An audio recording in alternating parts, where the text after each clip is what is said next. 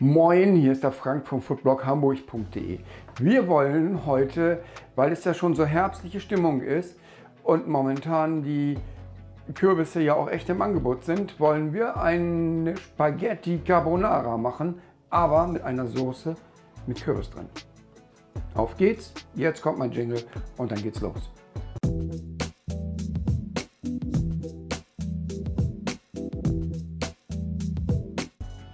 Als erstes müssen wir diesen Kürbis halbieren und die Kerne und alles drumherum rausnehmen, was wir nicht gebrauchen. Und dann müssen wir den klein schneiden. Ich habe das schon mal vorbereitet. Hier in dem Topf kann man das schon mal sehen. Alles so kleine, niedliche Würfelchen. Kann man das sehen? Ja, ne? Ja. Sehr gut. Und dann gebrauchen wir halt eine Zwiebel. Ich nehme wie immer eine rote Zwiebel. Die Mengen dessen, was wir brauchen, findet ihr wieder unten in der Einkaufsliste. Die werde ich wieder verlinken wie immer. Dann könnt ihr euch die runterladen, ausdrucken, wie auch immer. Ähm, ich mache natürlich jetzt nicht so viel, weil wir sind natürlich nur zwei Personen. Ich werde es aber wieder reinstellen für vier Personen. Die Zwiebel verhältnismäßig dünn und klein runter, weil wir wollen ja nicht so eine großen Zwiebelflatschen da drin haben.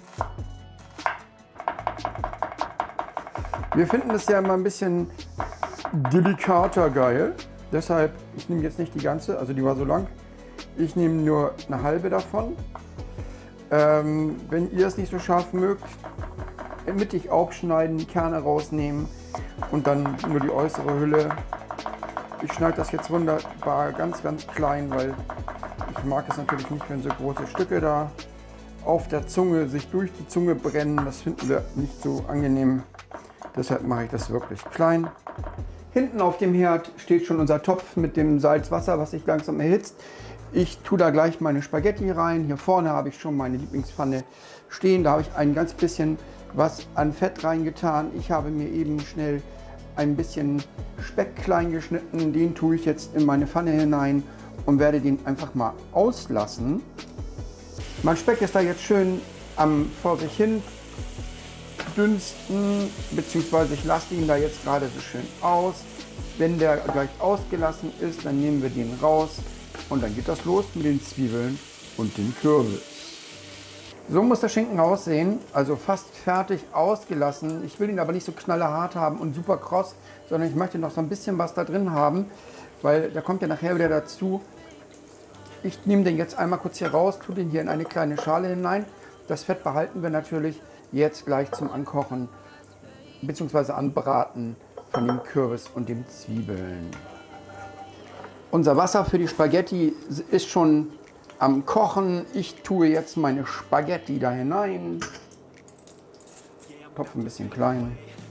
Ich tue jetzt meine vorbereiteten Kürbis in die Pfanne.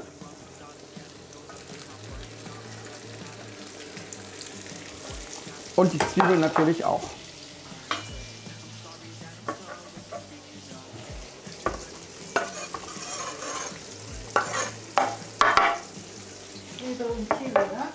Ja, genau, ein bisschen Chili ist ja mit dabei. Das Ganze müssen wir jetzt so ein bisschen andünsten.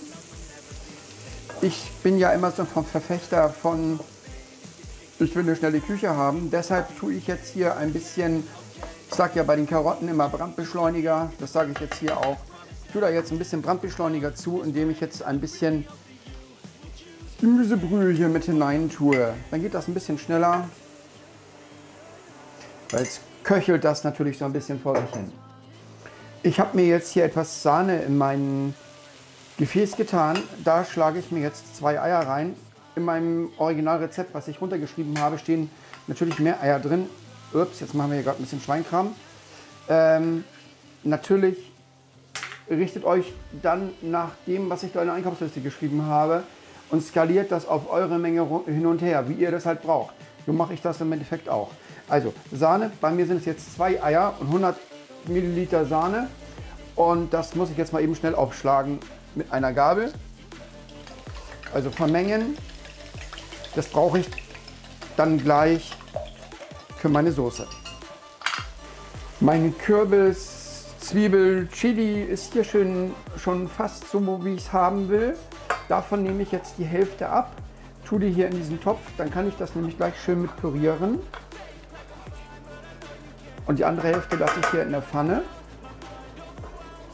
Beziehungsweise ich mache so zwei Drittel, ein Drittel. Ich püriere das dann jetzt mal eben hier fertig. Jetzt tue ich mein Ei-Sahne-Gemisch mit dazu.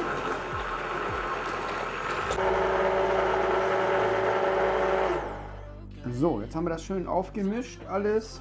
Im Aufmischen bin ich ja immer groß. Schweinkram habe ich auch gerade gemacht, klasse. Dann nehmen wir uns das mal mit rüber.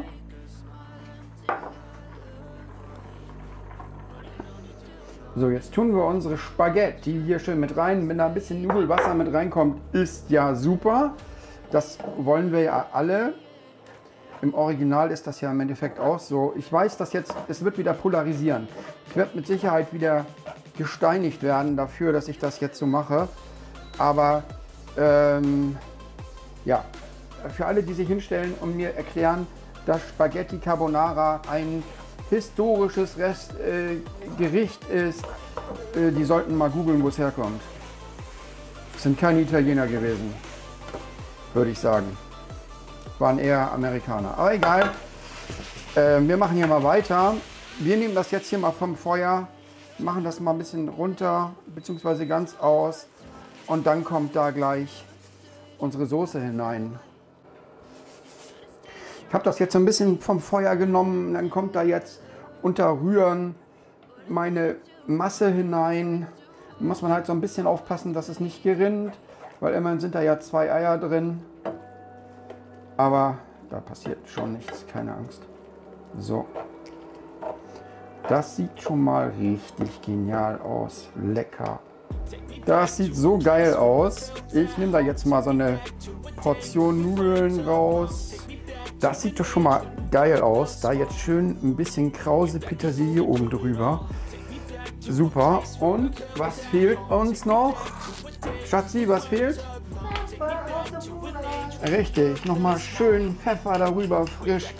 Genial, das war's schon. Klasse, das sieht geil aus. Ich liebe es, jetzt schon. Wir haben das natürlich neulich schon mal ausprobiert. Das schmeckt richtig genial.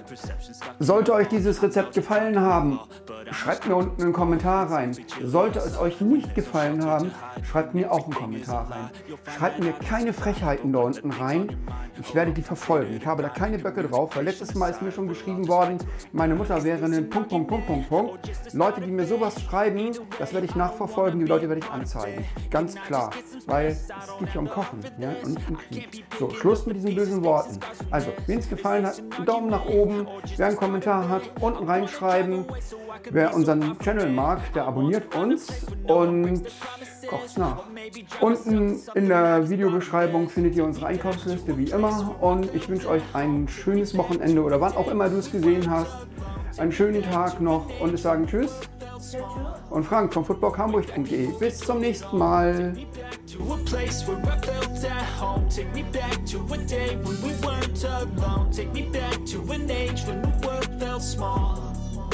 Way back before we